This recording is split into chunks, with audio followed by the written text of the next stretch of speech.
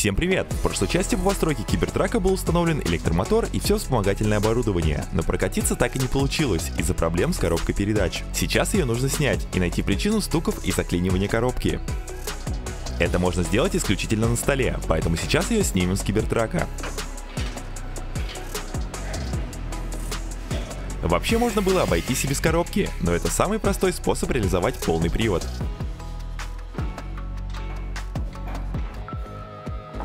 Стуки слышны из дифференциала из центральной части коробки. Скорее всего сломались зубцы, но точно покажет только полная разборка.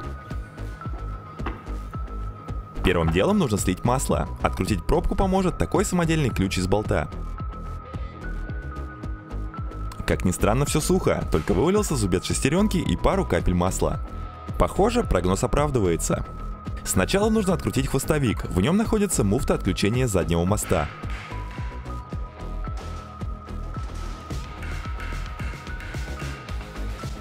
На вид с ней все в порядке. Да и шестерни пятой передачи в норме.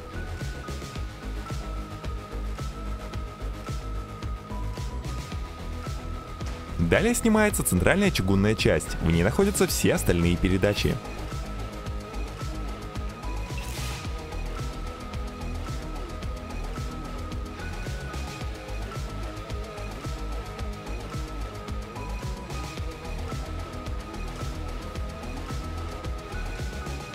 Дифференциал вроде бы в порядке, но его постоянно подклинивает.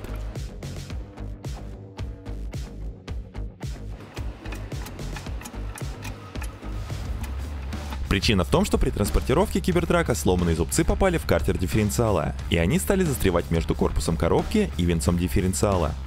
Поэтому поначалу при проверке коробка не клинила и не было стуков. А те самые зубцы отвалились с шестерни второй передачи, которая идет одним целым свалом. Из-за этого могли быть стуки, так как повреждение серьезное. Именно такие повреждения бывают, когда выкручиваешь двигатель на первой передаче до отсечки и резко втыкаешь вторую передачу. Скорее всего, вал уже не найти в продаже, легче купить другую коробку как донора.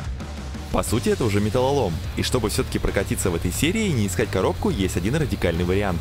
Это попросту убрать все поврежденные шестеренки, а именно сточив на них зубцы болгаркой и на токарном станке.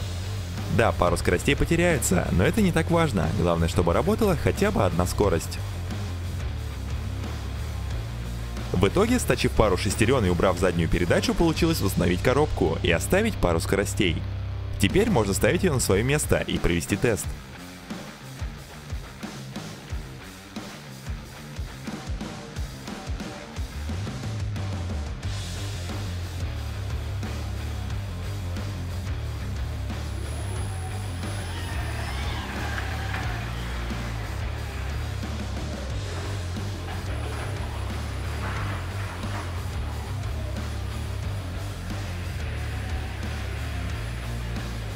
Стуки из коробки ушли, а значит можно переходить к следующему этапу – подготовки места водителя.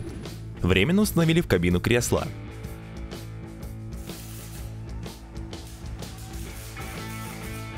Сев на кресло, понял, что места под педали не так много, хочется поставить ногу правее, но там идет стойка рамы. Придется этот кусок срезать и приварить стойку поближе к двигателю.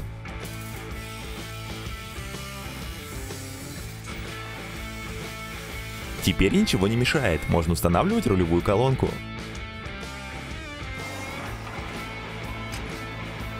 Из-за того, что рулевая рейка очень близко к ногам, рулевой вал не получится согнуть еще больше вниз и сделать руль параллельно торпеде. Попробовали это исправить, добавив еще один карданчик к валу.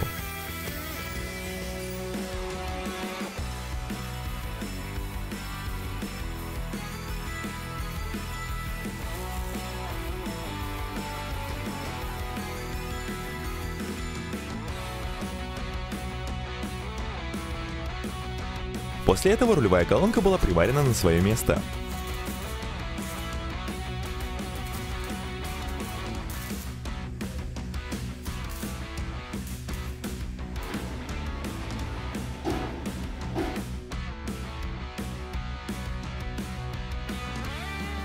Чтобы понимать, как это будет выглядеть в будущем, был сварен примерный макет штурвала Теслы из обрезков металла.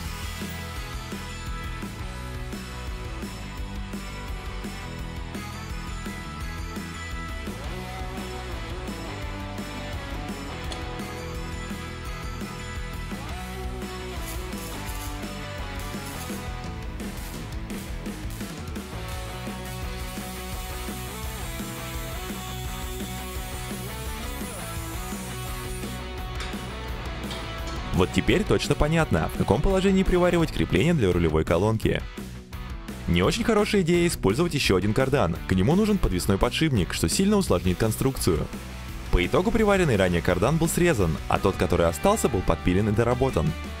Теперь он может передавать момент на такой угол.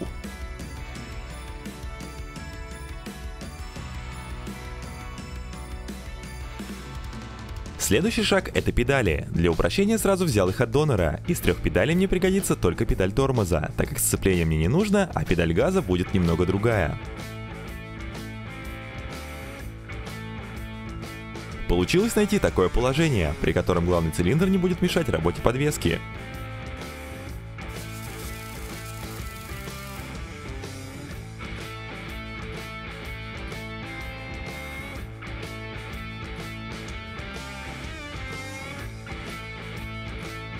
Осталось подключить тормозной цилиндр к суппортам, пока что к передним, залить тормозную жидкость и можно выезжать из мастерской.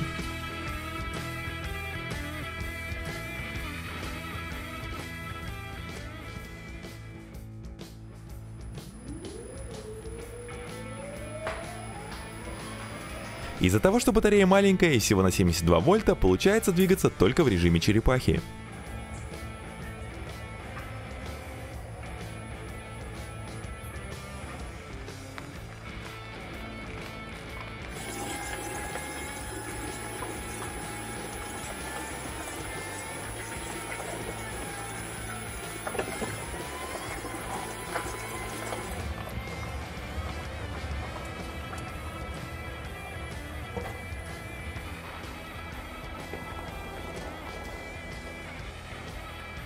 Задний ход включается кнопкой.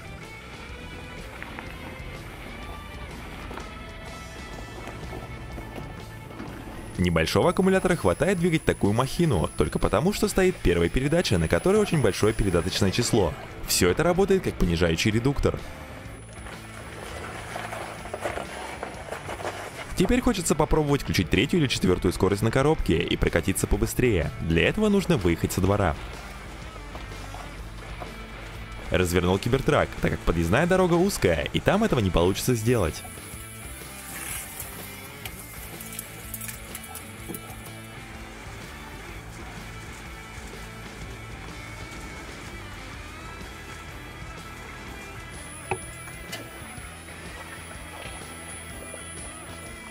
Развернулся и выехал задним ходом из ворот.